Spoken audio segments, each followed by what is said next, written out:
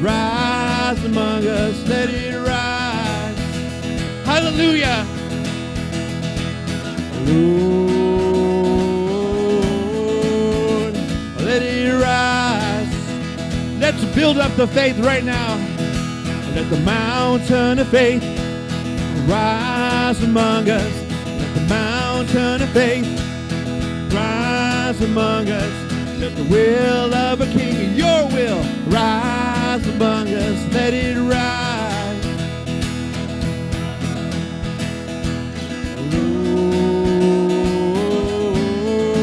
Lord, let it rise. The glory,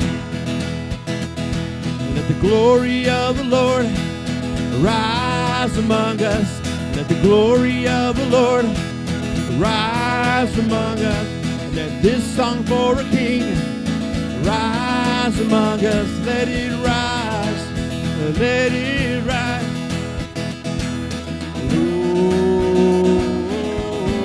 Lord, let it rise.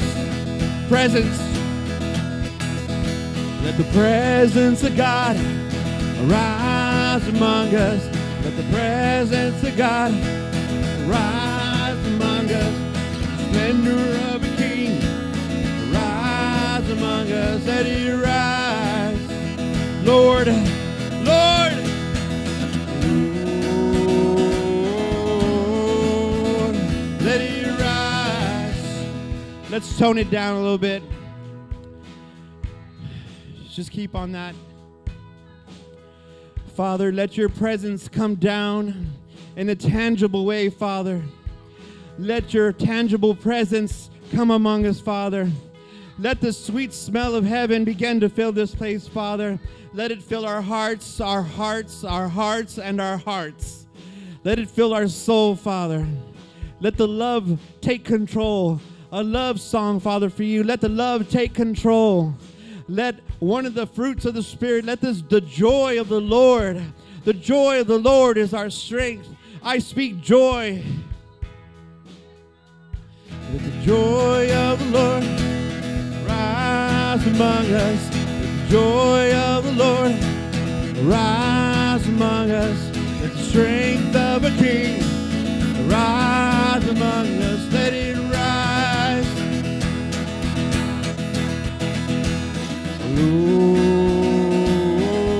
Lord, let it rise. Presence. Let the presence of God rise among us. Let the presence of God rise among us. Let the splendor of a king rise among us. Let it rise. Let it rise.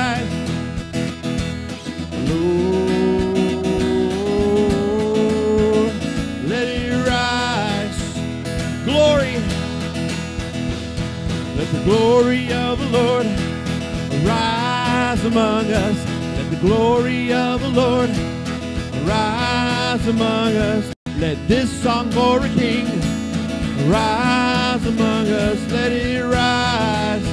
Let it rise. Lord. Lord, let it rise. Last time, glory.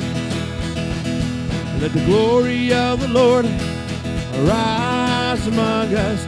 Let the glory of the Lord arise among us. This song for a king rise among us. Let it rise.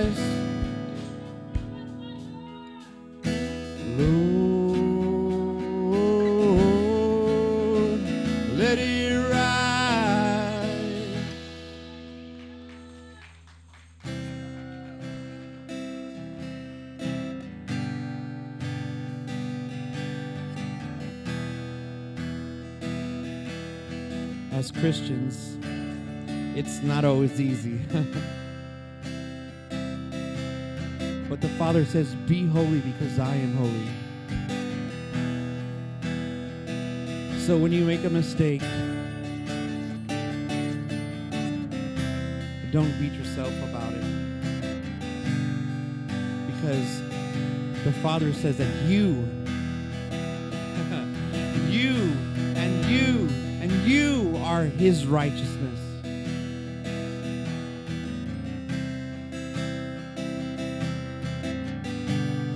The Lord is good because he chose us to be his righteousness.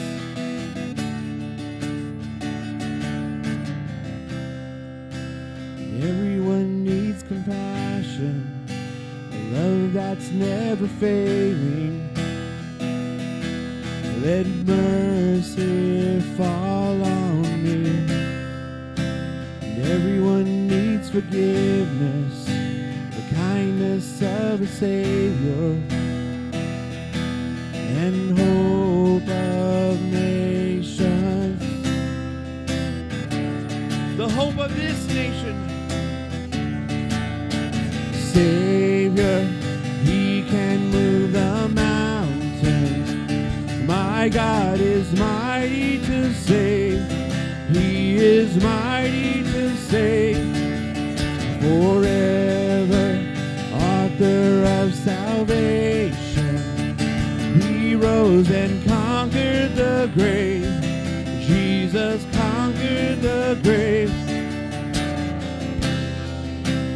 Take me as you find me, with all my fears abandoned, and fill my life again. I give my life to follow, and everything I believe in, and I surrender. I surrender. Surrender.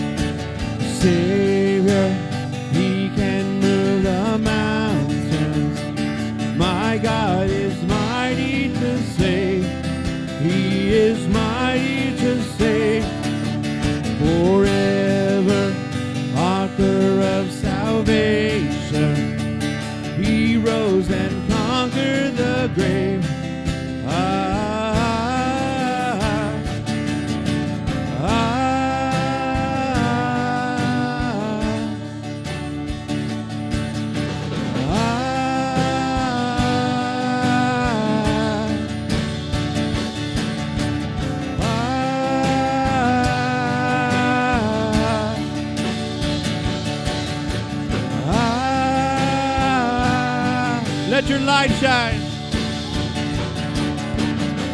Shine your light and let the whole world see. We're singing for the glory of the risen King. Jesus, shine your light and let the whole world see. We're singing for the glory of the risen. Jesus, shine your light and let the whole world see. We're singing for the glory of the risen King, Savior. Savior, He can move the mountain. My God is mighty to save. He is mighty to save forever. Author of salvation. He rose and conquered the grave. Jesus conquered the Savior.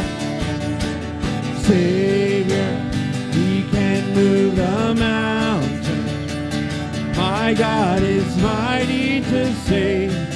He is mighty to save forever. Author of salvation. Rose and conquered the grave. Ah, sing it holy, holy. Sing holy, holy. You are holy.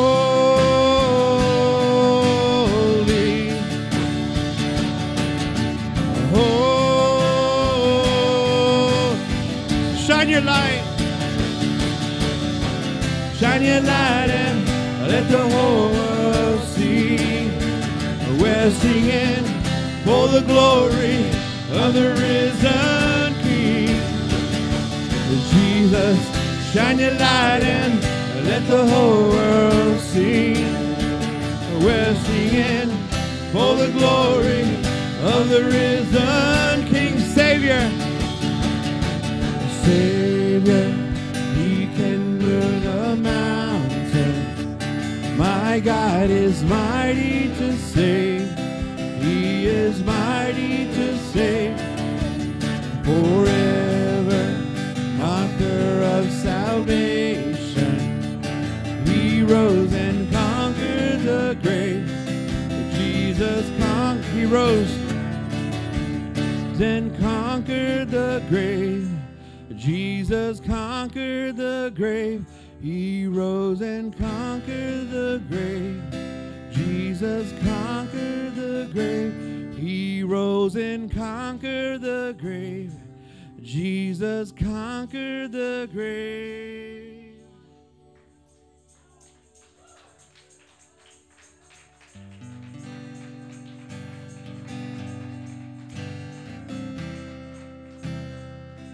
Let us make these declarations.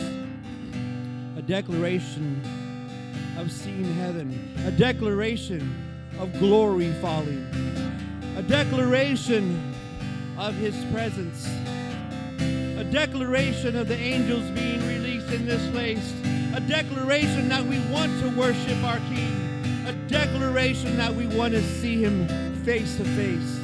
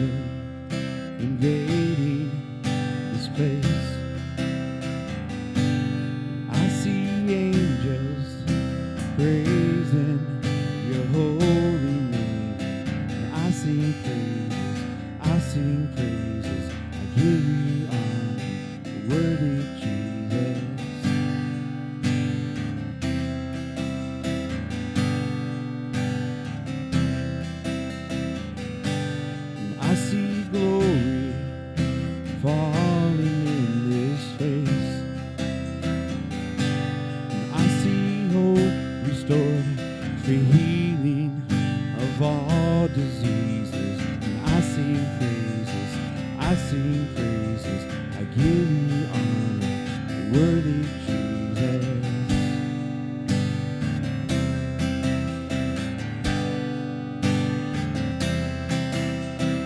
We give you praise and all of the honor. You are our God, the one we live for. We give you praise and all of the glory,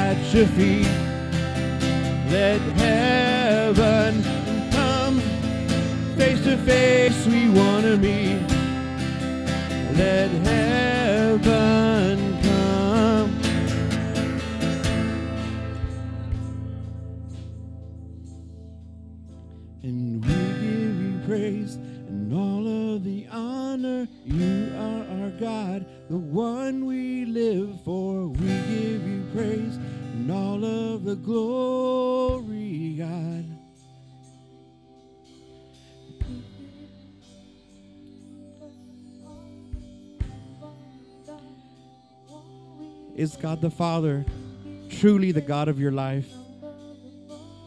Is Jesus your King?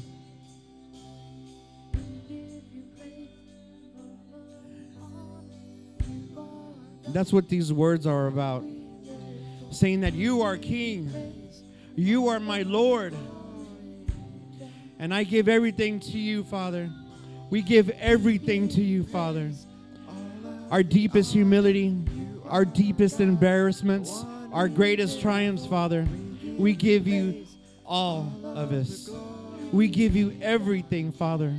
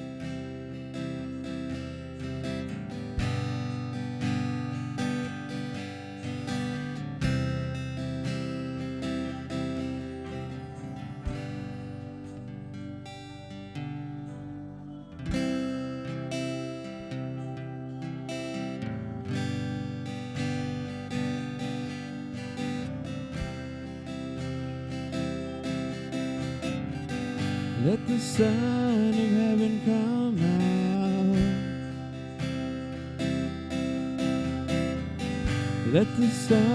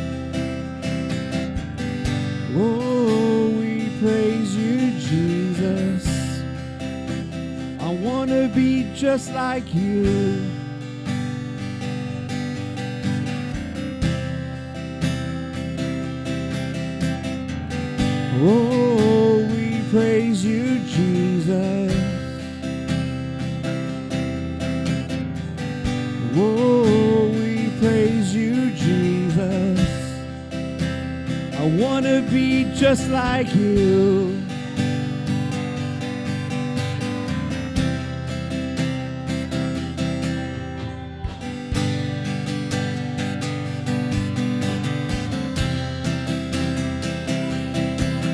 Where the Spirit of the Lord is, there is freedom. Where the Spirit of the Lord is, there is freedom. the Lord is there is freedom.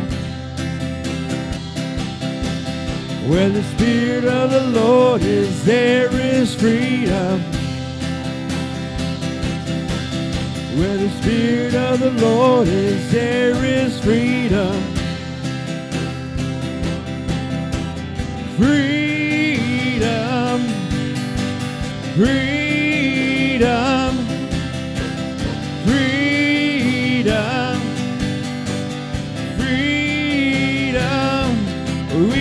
Free. We are free. We are free. We are free. Where the Spirit of the Lord is, there is freedom.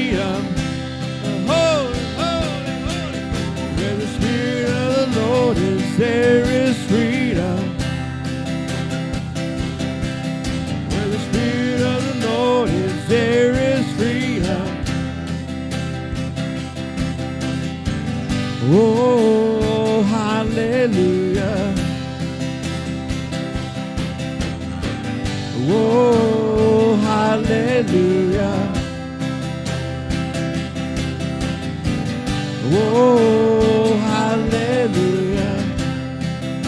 I just want to be with you. I want to be with you. I just want to be with you.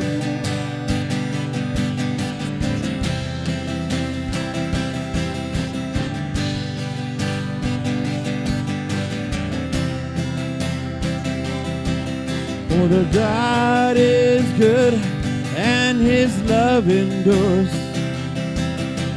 God is good and his love endures. God is good and his love endures forever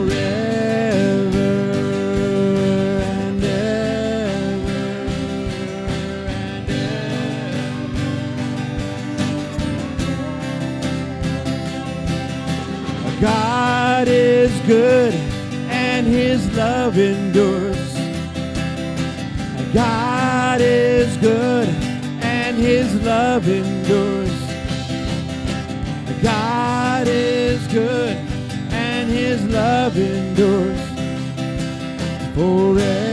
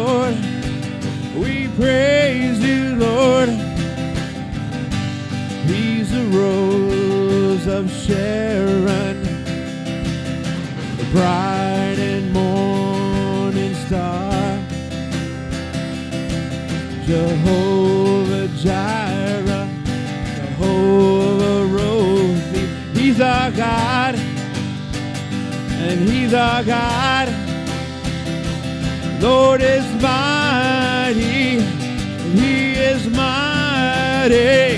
The Lord is mighty,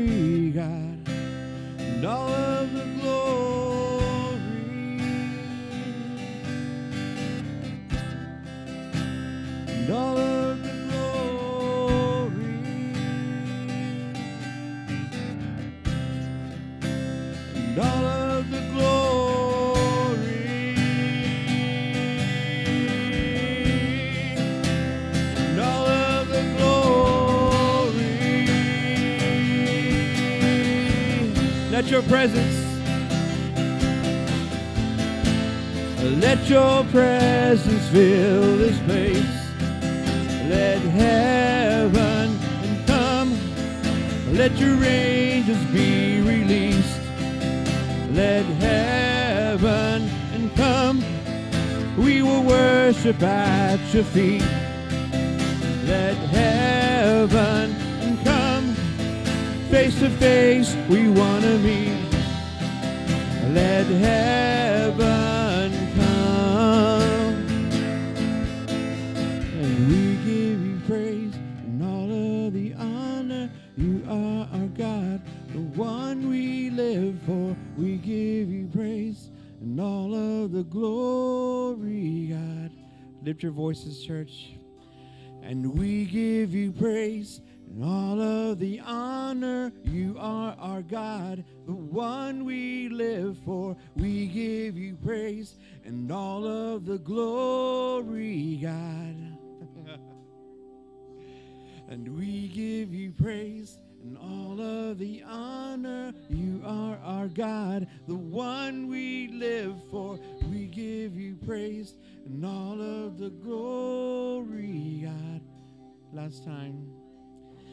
And we give you praise and all of the honor. You are our God, the one we live for. We give you praise and all of the glory, God.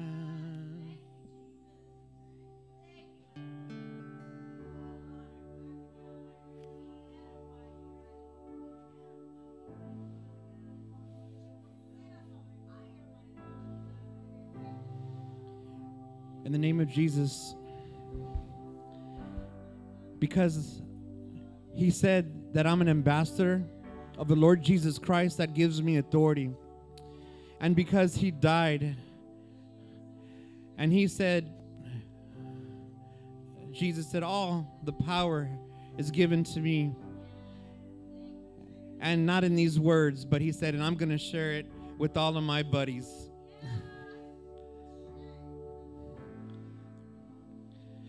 So, because of that power, in the name of Jesus, I command every soul to praise, every eye to be open to see the kingdom of heaven. Because we don't have to die to see the kingdom of heaven, we can see it right now. Let our ears be opened up. Let us hear the angelic. Let us hear the songs of heaven. Let us hear the voice of Father.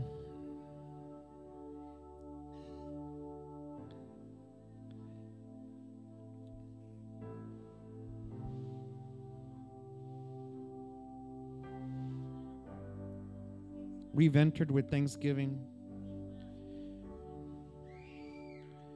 And we've definitely entered his courts.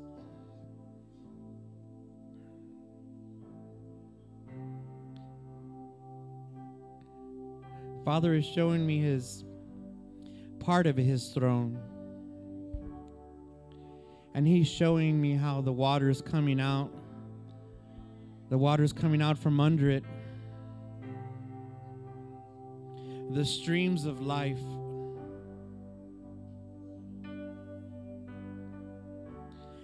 Father, let those waters pour over every person here.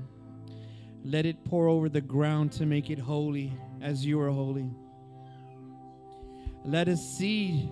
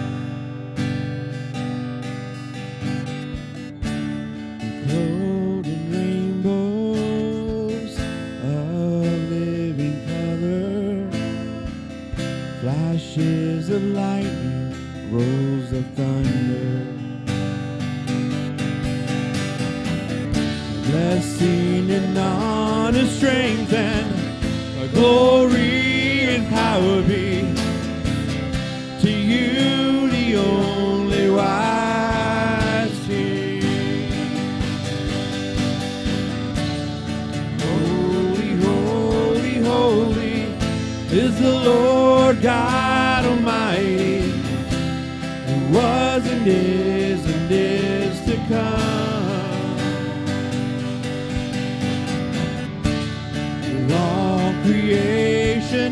Sing praise to the King of Kings. You are my everything, and I will adore you.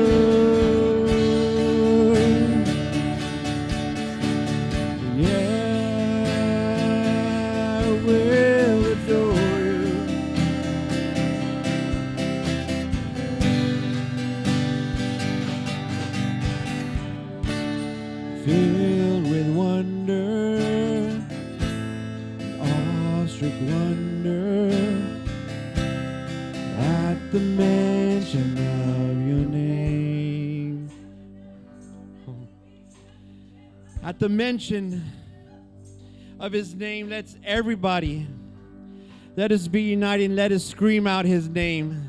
Jesus. We'll start from the beginning. Filled with wonder. Filled with wonder. Awestruck wonder. At the mention of your name. One, two, three. Jesus, your name is power, breath and living water. Such a marvelous mystery. Yeah. Holy, holy, holy is the Lord God Almighty, who was and is and is to come.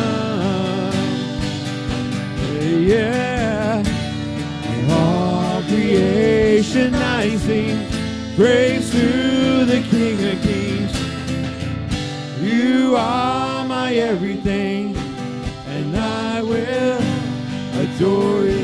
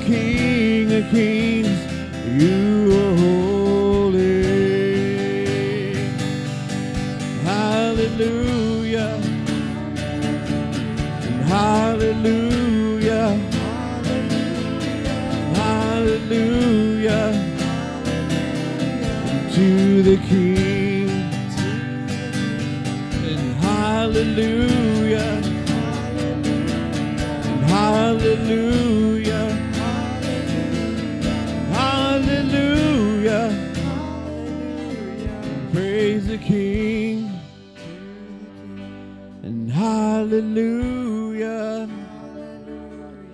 hallelujah. hallelujah.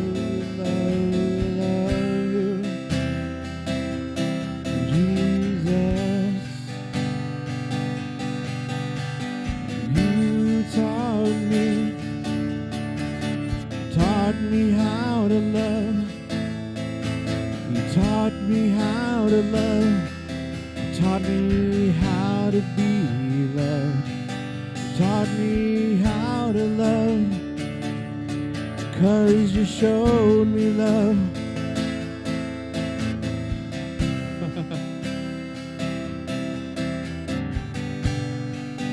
it's all about relationship,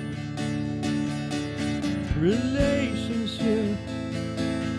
It's a relationship with our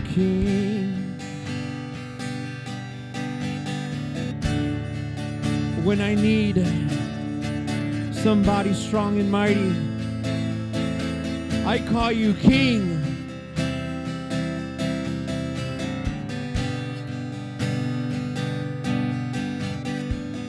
When I need to be loved, I call you Daddy.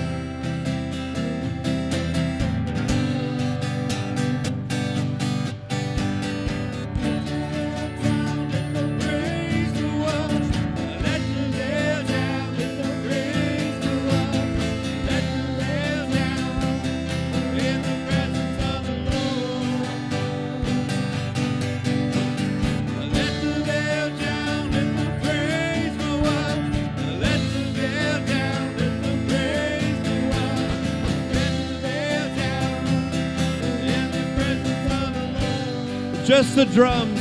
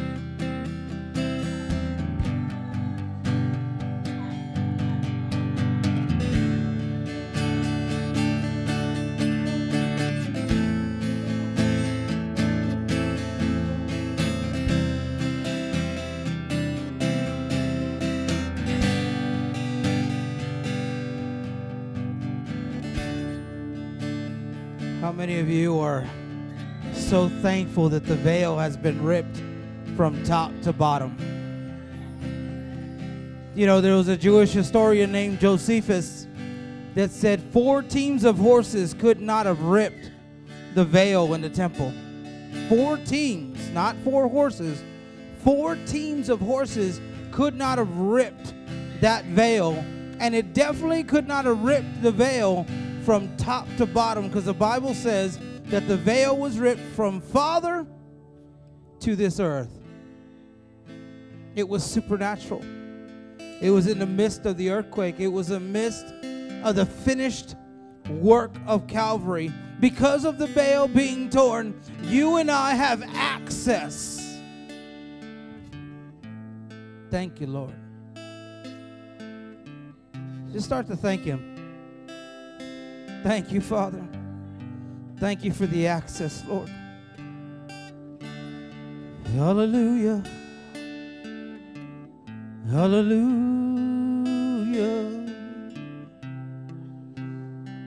Oh, we worship you, Lord. We have access. Come on. We have access. We have access to the presence, the presence of the Lord.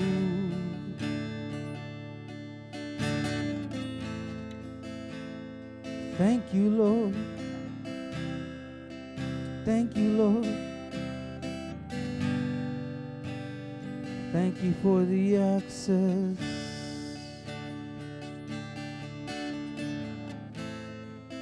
Somebody worship the Lord. Oh Lord, we worship you, we worship you, oh Lord. Hallelujah. Hallelujah,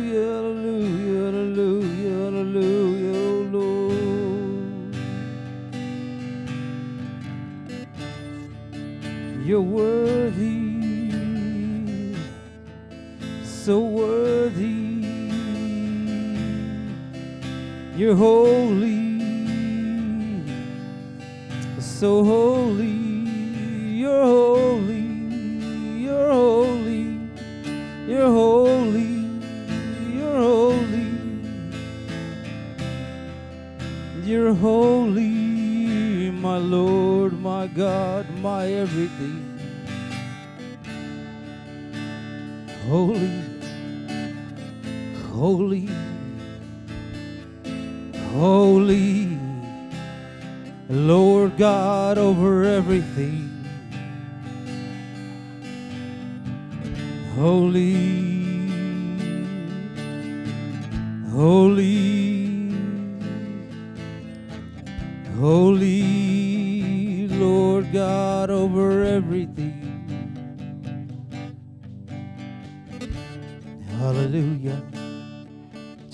new song to the Lord right now.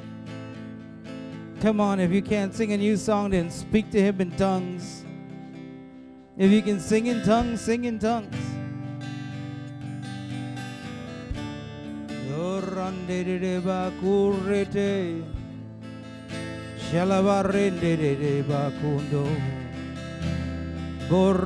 Te te te radara bakuroro basiri.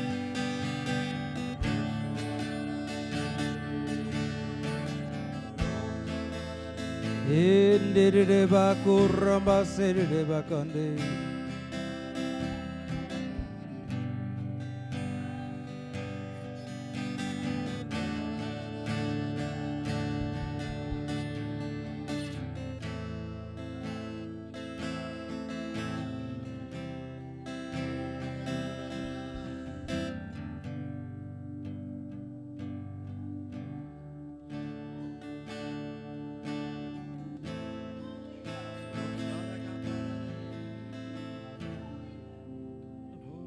You know, uh, Prophet Irene was saying there's something different about tonight's presence.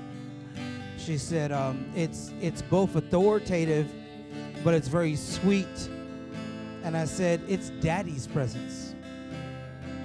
How many you know when Daddy walks in, it's authoritative, but it can be very sweet. Thank you, Daddy. Thank you, Abba, Father. Would you get out of your seat? Would you tell somebody, I feel daddy here? How about you?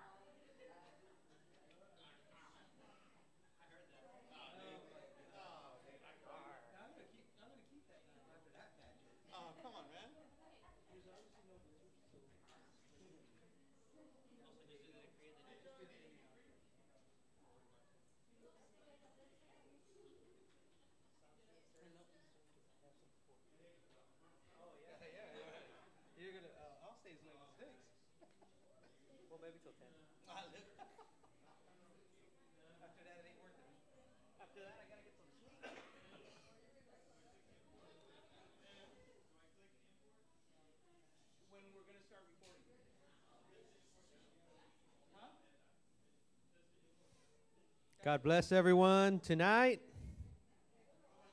God bless everyone. I guess you guys aren't done yet. Didn't we just have a fellowship? I'm kidding. It's good to see you guys, fellowship. Yes, we need to have another one already, right? Obviously, there were some things that were still left unsaid. We, we everybody still wants to talk. All right. So we're going to do the tithes and offerings. Who's ready to give to the Lord? Amen. All right. We give our offerings and our tithes with joy. Amen. All right. So you guys are ready? Because everybody said amen, so everybody should be ready, right? All right, well, let's all stand up and say it all together. Whether you're giving or not, let's just all stand up together. Amen. As we receive today's offering, we are believing the Lord for jobs and better jobs, raises and bonuses, benefit sales and commissions, favorable settlements, estates and inheritances, interest and income, rebates and returns, checks in the mail, gifts and surprises, finding money, debts paid off, expenses decrease, blessing and increase. Thank you, Lord, for meeting all of my financial needs, that I may have more than enough to give into the kingdom of God and promote the gospel of Jesus Christ. Hallelujah! All right. Give your tithes and offerings to the Lord. Amen.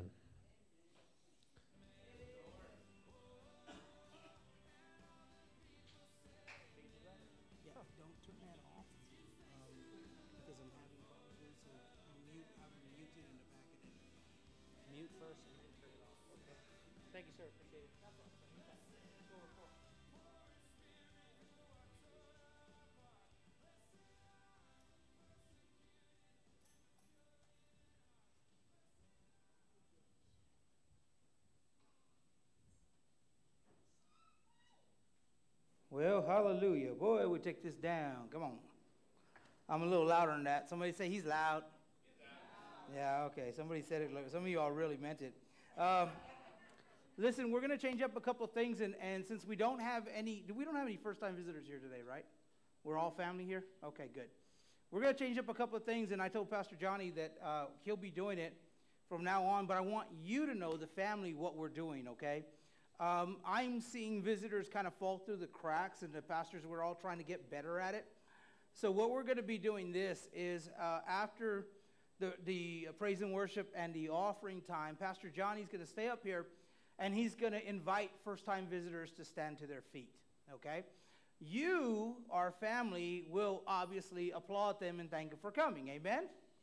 Okay, some of you sound pretty friendly. Others, I don't know, but um, you're gonna you're gonna say, "Hey, great to ha- great to have you," and then what's gonna happen during that time is Pastor Gloria, and if needed, when we have lots of visitors coming in, Pastor Jesse will be helping to uh, pass out the visitor cards and give them a small gift.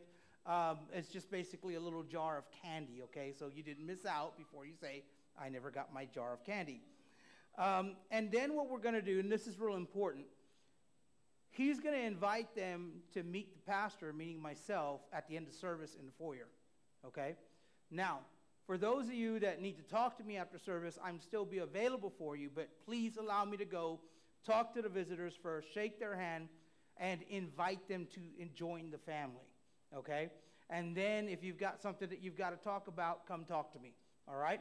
This is very important because we have to understand that people are trying to connect and we need to help them connect. Somebody say amen. amen. Okay? The other thing we're going to do is on fellowship Sundays, we're going to have, you know, like on a, on a what was it, George? Uh, the, the love boat.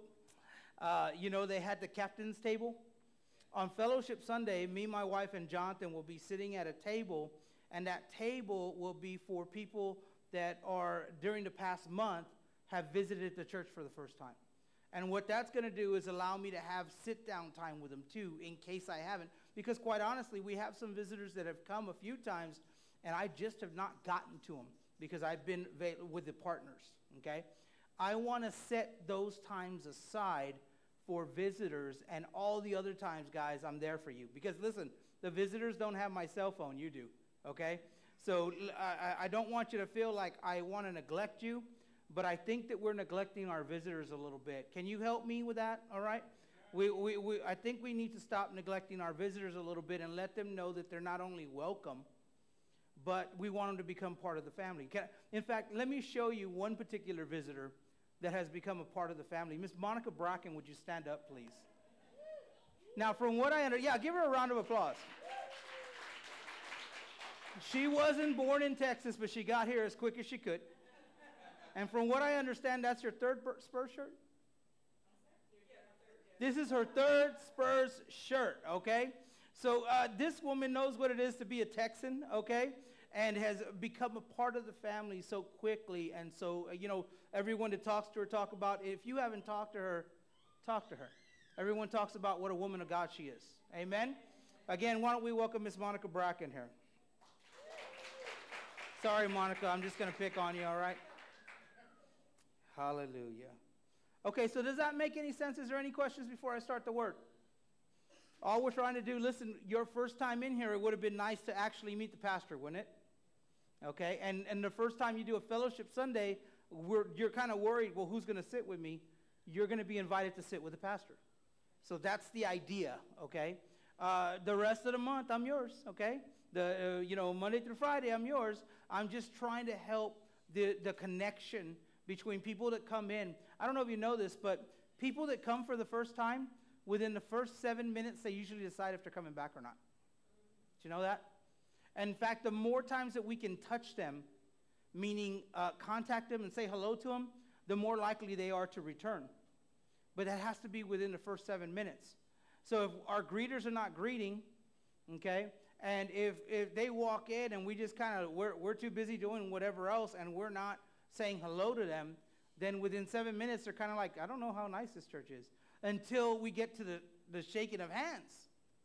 But then what happens? We're all kind of talking to each other because we know each other, and the visitors are kind of sitting there like this. See, we've got to become more family oriented. Amen? Because if they're a son or daughter of the Lord, they're our what? Our brother or sister. Does that make sense? All right, praise the Lord. I'm going to move this up just a little bit. Try not to knock down that oil. All right, we're going to continue. Are we ready in the back to get started? All right, let's get started. We are going to continue with our supernatural identity. Somebody say identity. Somebody say, I know who I am in Christ. Because Pastor Jesse taught me. Yeah, somebody, well, wait, uh, okay, anyway. All right, hallelujah. I want to thank you for the vote of confidence. Amen. All right, who wants their family to be great? Anybody? You want your family to be great? Who wants to have a lasting legacy? Okay? A legacy that keeps going, okay? I don't know about you, but I do. And in some ways, developing a, a culture, a royal culture, excuse me, in the church, um, it actually first needs to start in our homes. In order to have a royal culture in the church, it needs to actually start in our homes because if our homes are out of order, come on. If our homes are out of order and all we do is, is, is, is come and, and do our church thing and maybe do it with all of our life and all of our might and everything else, but if our homes are out of order, we come to, to walk among royalty, but then we go back to the dungeon. Come on.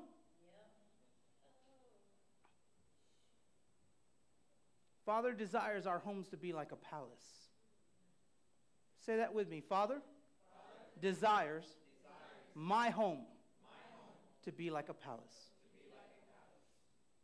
Where our children are called. You don't have to repeat that. Where our children are trained. Where our children are equipped. Where our spouses are called.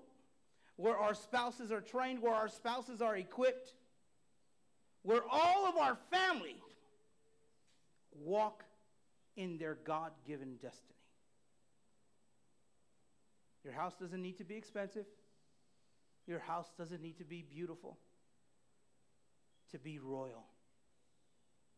It is the kingdom of God manifested in your house that makes it royalty. Not your furniture, not the neighborhood you live in.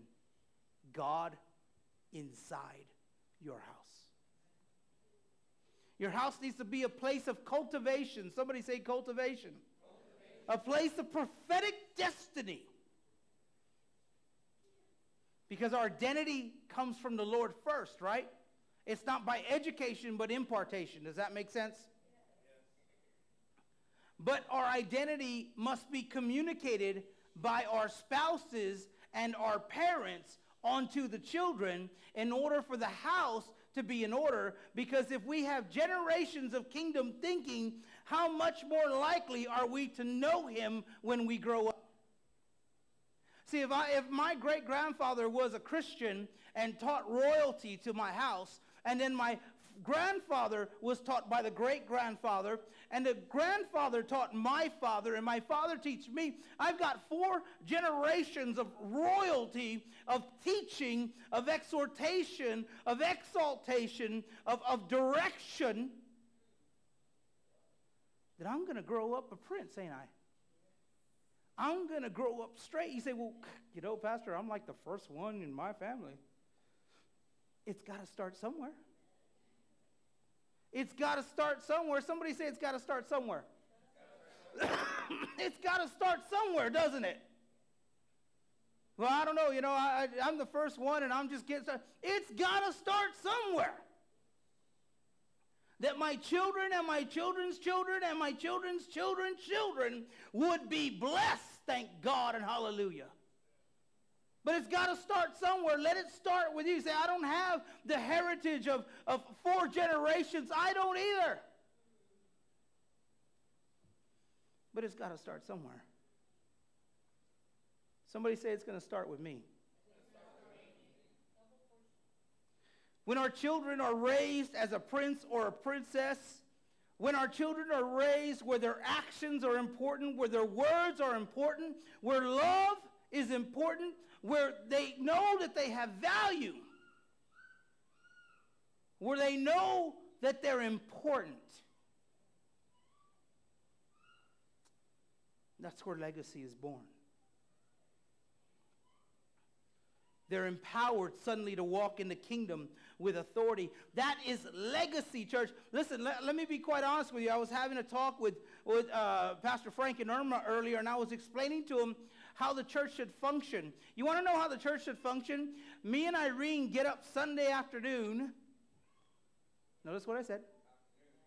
Sunday afternoon at 1.30, and we don't even worry that church has gone as, as planned without us.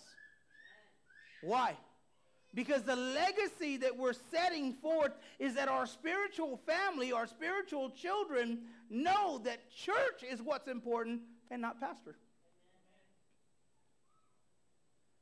That coming to glorify God is more important than coming to listen to pastor. Because one of your associate pastors will get up and preach a word even though they have no notes. Or maybe it turns into a testimony Sunday. Or maybe it turns into a worship Sunday in which worship just goes on and on. Maybe God's Shekinah glory shows up. In other words, I don't have to be here, and it doesn't have to be an, uh, a planned not being here, but I literally can just not show up and know my legacy is to know that Living Word Church will worship the Lord God Almighty whether I be here or not. That's legacy. That you would walk as I've taught you through Scripture to walk. That you would pray as I've taught you through Scripture to pray. That you would stand as I've taught you to stand through the Word. That's legacy.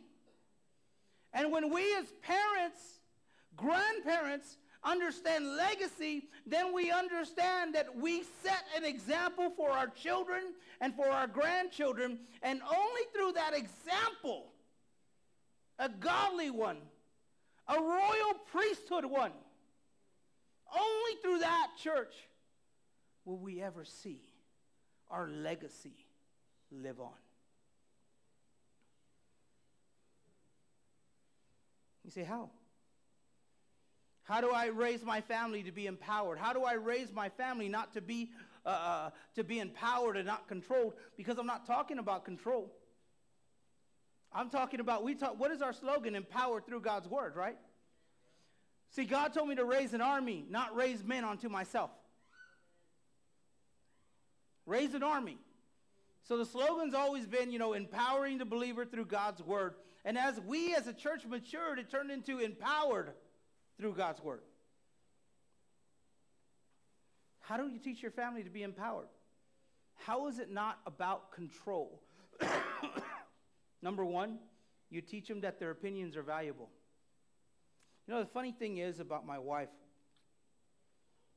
uh, and she'll just she'll say this too. I know it's like, don't worry, I'm not sleeping on the sofa.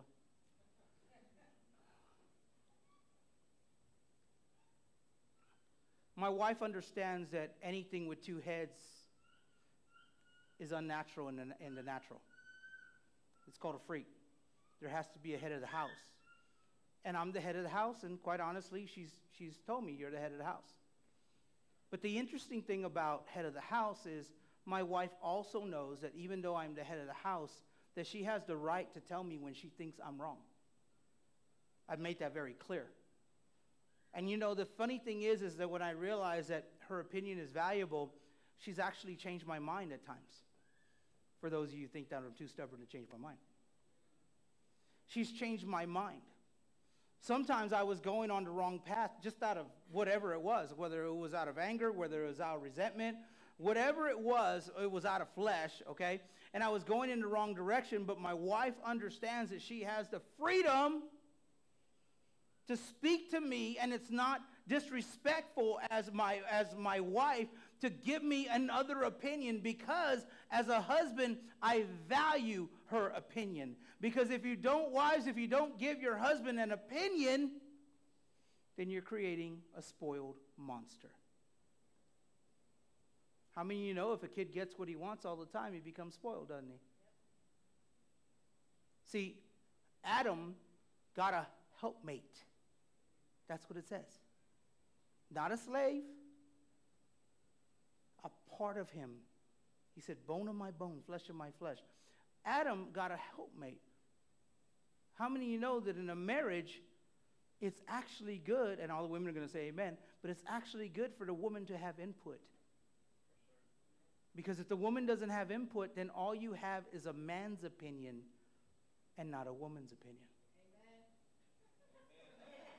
I knew it was coming. It doesn't make women less than to have a head, okay? It doesn't make that. It, it, doesn't happen that, okay? But in everything, in nature as well as the kingdom, there has to be a head. There has to be one. Because in nature and in the kingdom, when there's two heads, no bueno. That's why the Father, the Son, and the Holy Spirit, Jesus said, I do what I see my Father doing.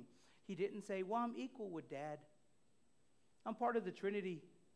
So I think I'm going to go this way and not do the crucifixion because, you know, it doesn't look like it's a lot of fun. Are you hearing me, church?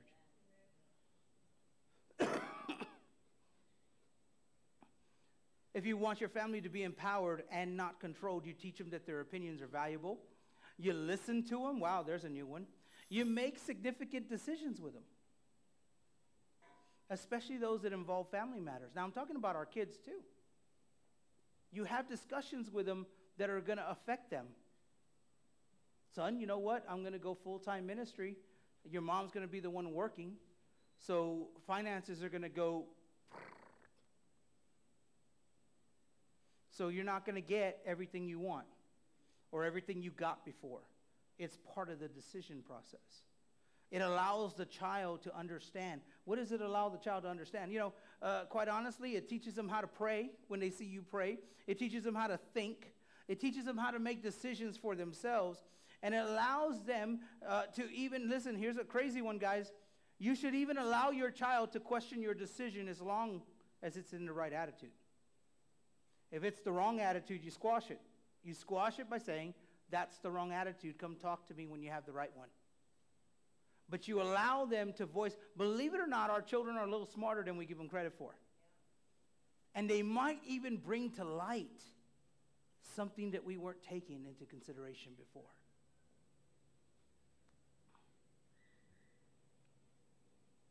Parents, do you want a powerful legacy? I know me as your spiritual father, I want a powerful legacy with Living Word. I want every single one of you to be empowered through God's Word. I want every single one of you to walk as the royalty that you are, to walk in the blessings. And when you walk in the struggles, people don't even know you're struggling because you walk as royalty. People don't know what me and my wife go through. They have no idea unless I share it with them. You want to know why? Because I walk as a man convinced that Jesus is still on that throne no matter what I'm going through. I will laugh with you. I will cry with you. I will hug you. I will, I will talk with you. I'll dance with you. I'll do everything the same way, whether everything's falling, the sky is falling, or everything is just perfect. I'm going to be the same way because I'm convinced that my God is still on the throne. That's walking as royalty. There will be storms, church. But how do you walk in the midst of the storm? Because that, that is what you truly look like. I'm reminded spiritually, uh, you ever seen like a, a, a fluffy cat or a real husky dog and they get really wet, especially a cat? What do they look like? Looks like they lost 30 pounds, right? And it's like, all right? And you're like, that's what you really look like underneath all that? That's the way a lot of Christians walk around. And you know what happens, as the Lord told me, is that as the rain falls, the struggle comes, they're exposed. I'm not saying that we don't have bad days. My God, my wife knows my bad days, but I guarantee you 99% of you don't know my bad days.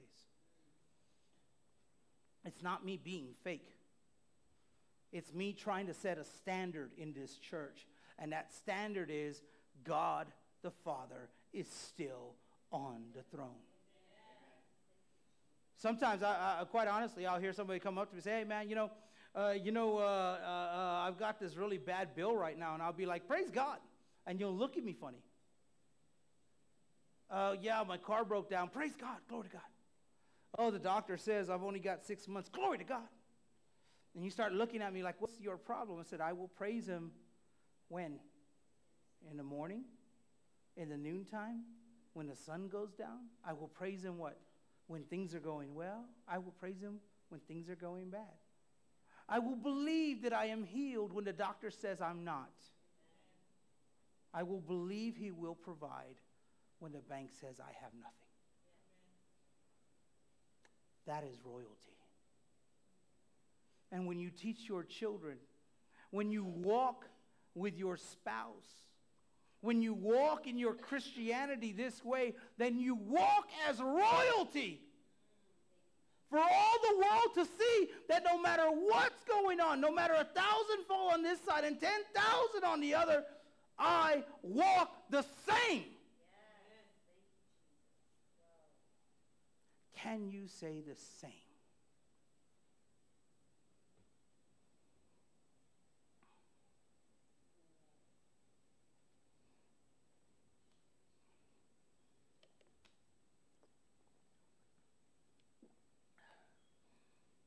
If you want a powerful legacy, you need to give your children time. Did you hear what I said?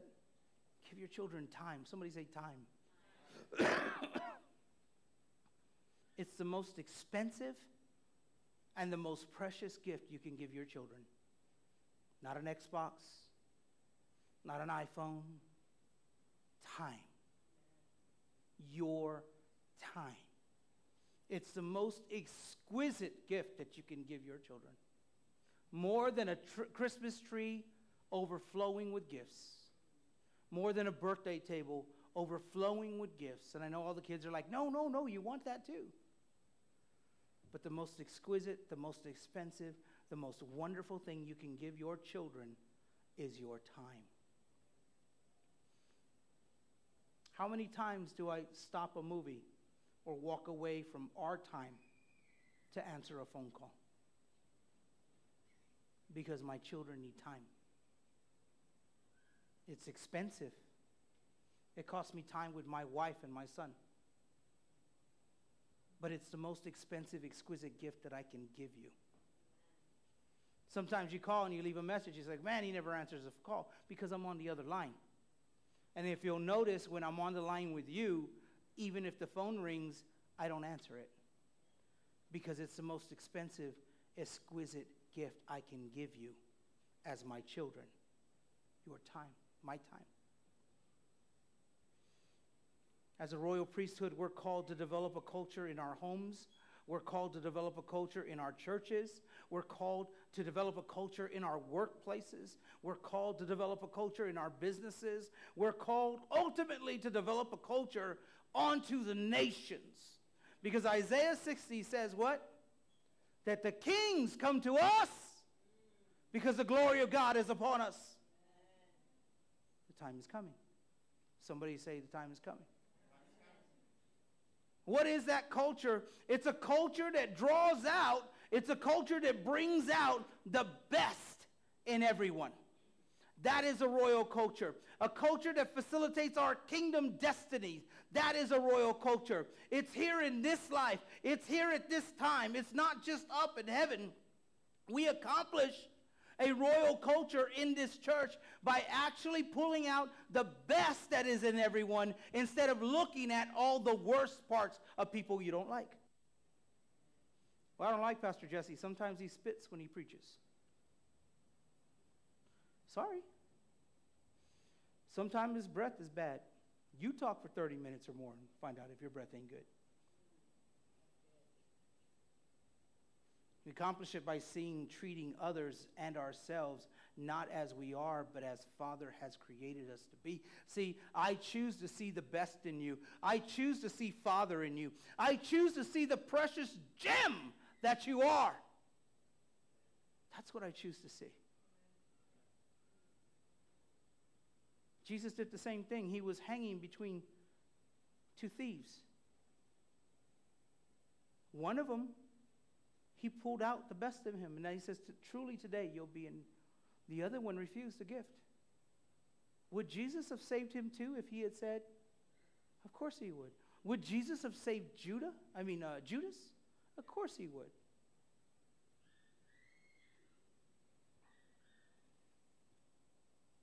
Empowerment can only come through intimacy with Father. Trust me, your flesh cannot see the best in people. See what I said? This empowerment, this ability to look at someone and say, I like that person because I see that emerald, I see that ruby, I see that sapphire, I see that diamond inside of them. That only comes when you've spent time and intimacy with Father. Because your flesh cannot pick out the great things in a person. As a matter of fact, your flesh can't even pick out the great things in you. Because the flesh is wicked. Remember your heart? It's inherently wicked. But when I've spent time in prayer, come on. When I've spent time on my face before God, when I've been studying and reading His holy word, when I've been listening to His voice that speaks to me every day, I can look at you and I can see the preciousness that Father sees in you. I, you can slap me in the face at one moment and I can forget the slap and I can see the pain that caused you to slap me because of the intimacy that I have with my God. But if I don't put time into having any intimacy if I just live my life and don't put time into prayer or don't put time into just being alone or don't put time into just being quiet and hearing Him. If I don't put that time, then quite honestly, you stink as bad as I do. Somebody say, Pastor stinks. It's okay, I don't care. God don't think I do. you stink as bad as I do, guys. Why? Because you know what? You stink. Sorry. I stink too. But see, that's what we gotta gotta understand because we kind of uh, some of you don't understand how God sees you as righteous and holy and, and just. You don't get it. You don't get it because you're looking at yourself the way your flesh looks at you. You're looking at yourself the way you look at others. God sees you through the spilt blood of Jesus. It says that you are the righteousness of God in Christ. And I'm going to explain that in a minute. And I'm going to explain that in a great way. In your flesh, you cannot see the best in people, but we're no longer slaves to sin, we're friends, right? Somebody say, I'm a friend of God. We sit with him and we walk with him as kings and queens of his court. Hallelujah. In fact, let's pray. Father, grant us insight to see others beyond their outward uh, appearances, beyond their struggles, beyond their walls, that we might seek the treasures that lie within them. May you give us wisdom to develop as kings and priests. May you endow us with power to destroy the works of the devil. In Jesus' name, amen. I prayed this right now because I want you to understand something. When you called on the name of Jesus, whatever your birth date is in the Spirit, He answered. Somebody say, He answered. I, am hoping you're, you're starting to comprehend that you're a royal family. Say, I'm part of the royal family. Jesus is not only the King of Kings because of earthly kings, he's the King of Kings because of us who co rule and reign with him. And I think it's important that Father loves, oh boy, here we go.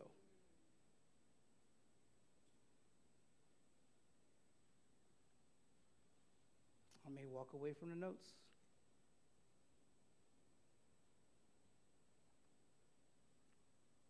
Please pay attention.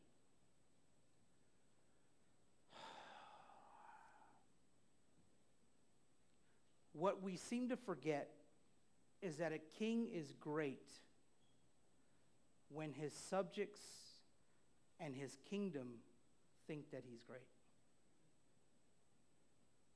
Does that make sense? Okay. Uh, let's let's use uh, let's use our president right now. Got a real low approval rating. Is our president great? Most of you would say no. Why? because it's a low approval rating. But if it was a high approval rating, and we said, is, is the president great? A lot of people would say, yeah, he's great, because ultimately a king is great when it's, when it's his subjects and his kingdom bring him up to greatness. That's what made King Solomon a great king. Not because he said, I am a great king but because other nations, not only just his nation, but other nations came and said, You are a great king.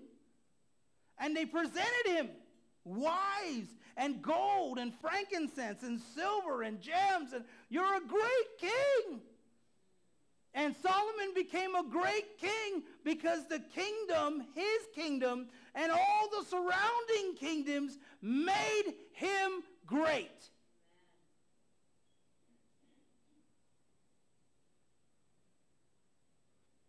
Is God a great God?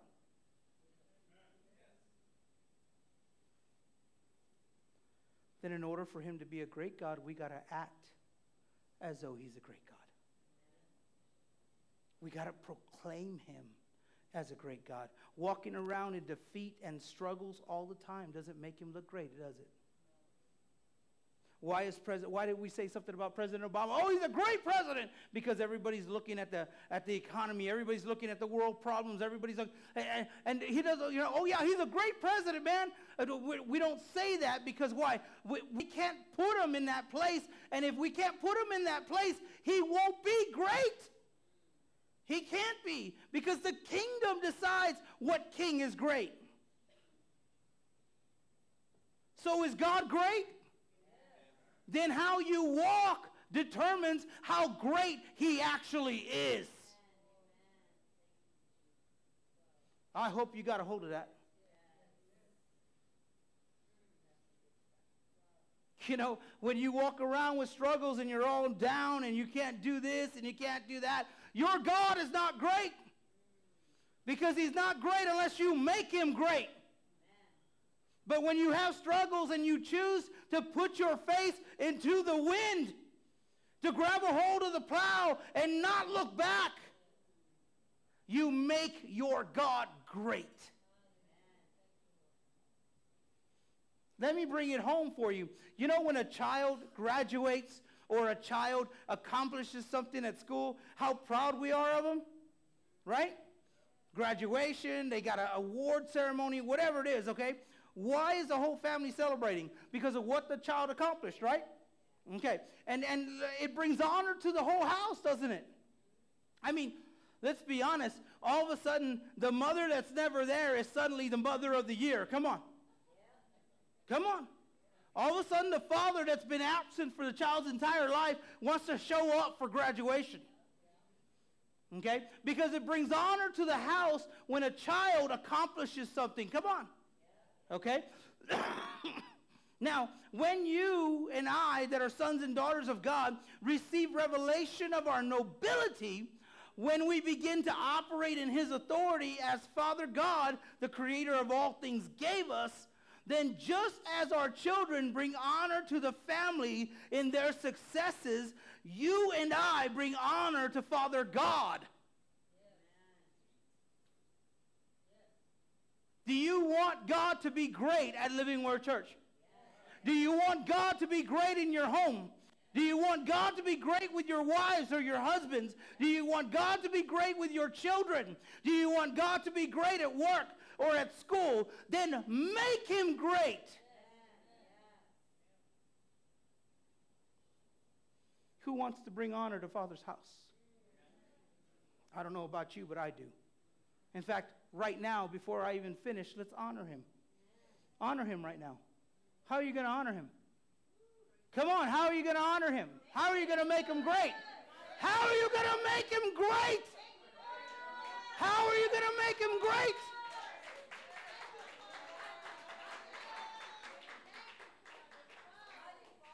You know, it's not like you, know. you can't make him great by saying, Glory to God. You're number one. That's not great.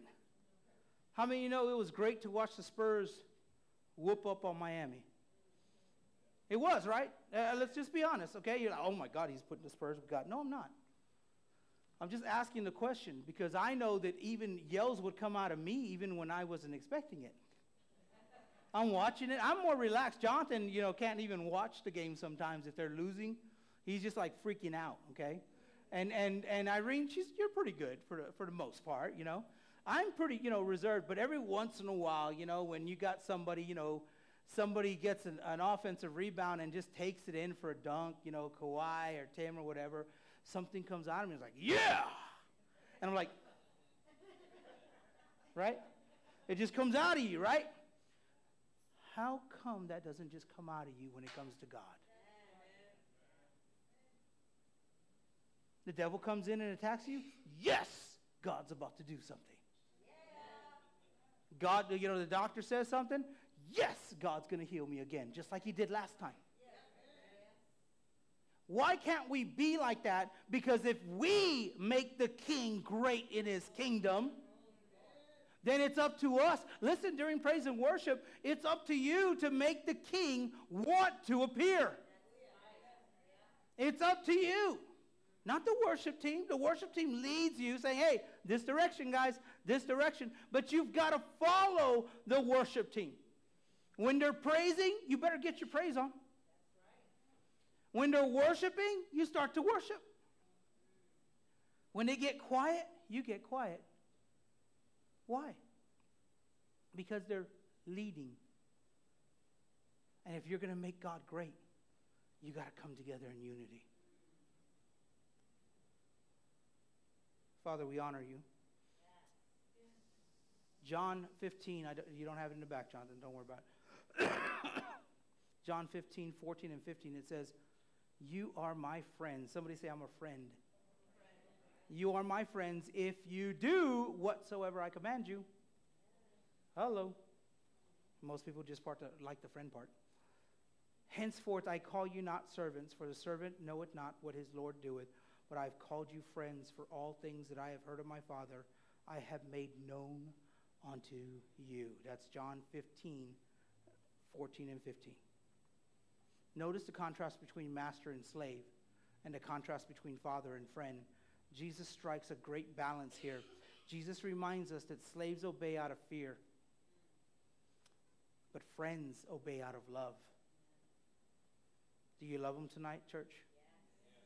Somebody tell them you love them. Now turn to somebody and say, I love God.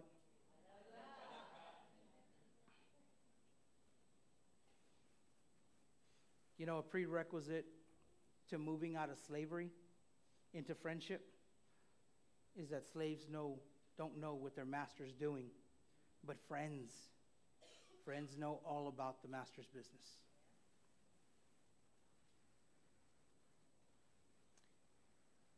Here's another trick I, will tell you. I give you all too many of my tricks. I do.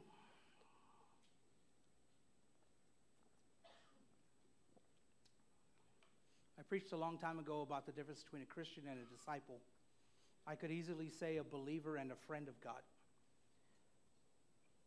I can tell who is actually a friend of God by the conversation I have with them. Did you know that? By what's on their heart, what's on their mind. Is it their heart and mind or is it God's? I can tell. When we talk, I can tell how much time you've spent with God. I can tell. You can tell. You should be able to tell. Because if you're spending time in the presence of the Lord, you'll know the presence of the Lord when it's on somebody else.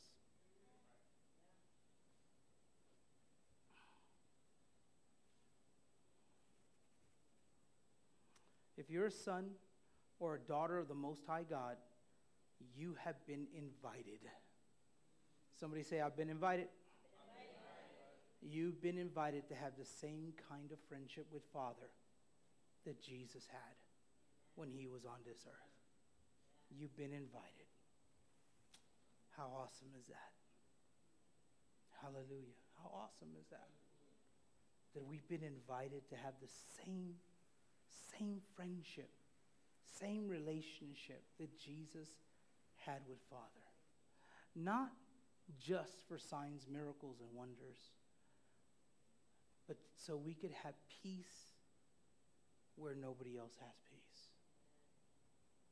He had to have peace to say, okay, nevertheless, not my will, but your will be done. Amen? Amen. Would you stand to your feet? Find a partner and not your wife. Come on, find a partner, find a partner, find a partner, find a partner. We're going to do some more exercises. now, while you guys are finding a partner, let me explain tomorrow. I have a funeral to do, but it should be short and sweet. Um, so I will still be here. Prayer may go a little longer. We'll still have Bible study, okay? So come tomorrow night. If you're on the prophetic team, okay, you need to be here. If you can't be here for the regular service, we're going to start our training tomorrow night at 8:30, and you've got to be a part of that training if you're going to be part of the prophetic team because I am going to make you from knives to razors. I guarantee it. But, but, you're going to have to allow me to shave some stuff off. Say, shave some stuff off. You're going to have to allow me to shave some stuff off because I will make you a more effective minister. All right? Now, that being said, face your partner. Now, one of you that's looking at each other say, I'm first. Okay, y'all got the first part? All right. Look at a bunch of rowdy Spurs fans. Okay, we're going to do two things. Each one of you is going to do these two things. We're going to decree and prophesy to one another, not anything coming from uh, the Lord. We're going to decree over each other. So whoever's first is going to do this. What you're going to do is you're going to decree that you're drawing out the treasure that is within the person, and you're going to decree that you are in agreement with whatever treasure that is. Now, what does that mean? You're calling out in whatever words you want. Johnny, that's perfect over your son. Same thing, Gloria, oh, daughter. You're calling out whatever God has put, whatever treasure God has put in them. You are saying, in the name of Jesus, I call you out of that person, that all would be able to see the treasure that's within you. And then you're going to say, and in the name of Jesus, I agree with whatever God says about you. Amen? Okay, so you're going to draw it out, and then you're going to agree with whatever gets drawn out. Okay? Ready? Whoever said there first, right now, in the name of Jesus, I release you to minister to your brother or sister.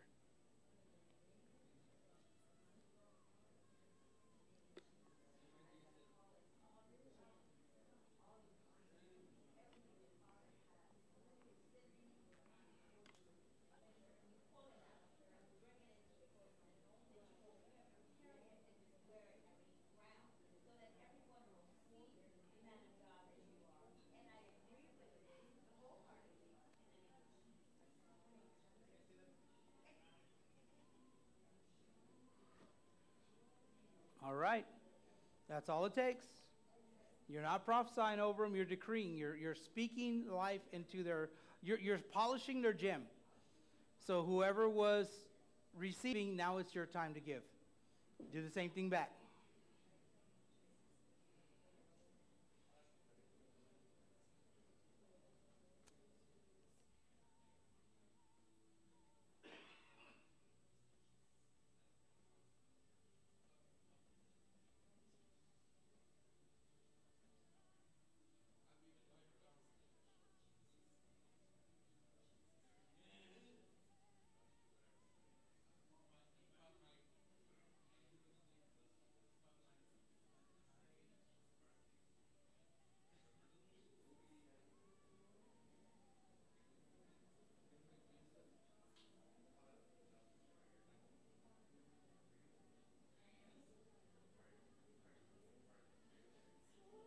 Don't prophesy. We're not prophesying.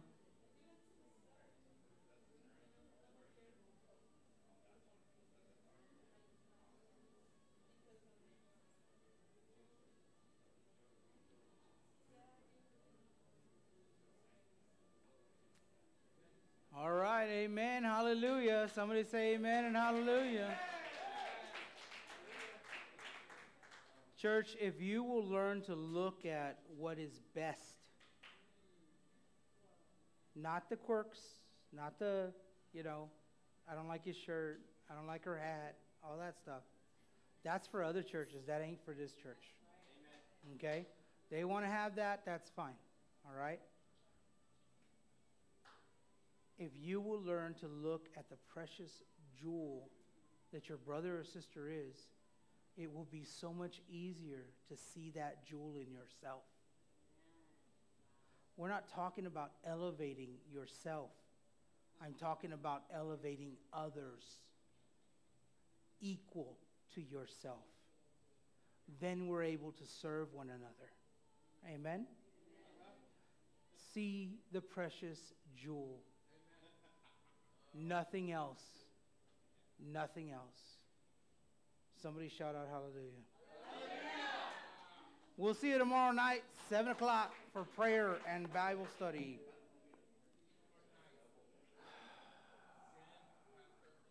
Again.